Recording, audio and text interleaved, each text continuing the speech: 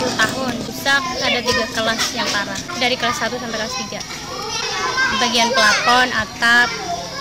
terus lantai lantai, dinding itu yang paling parah. Kalau musim hujan biasanya ya tetap belajar tapi kami pindah ke ruangan kantor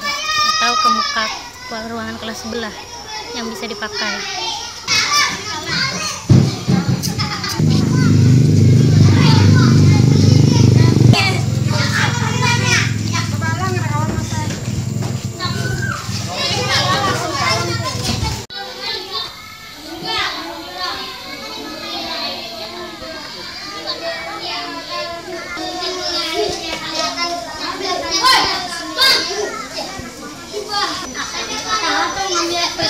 Beli, iya, kamu 个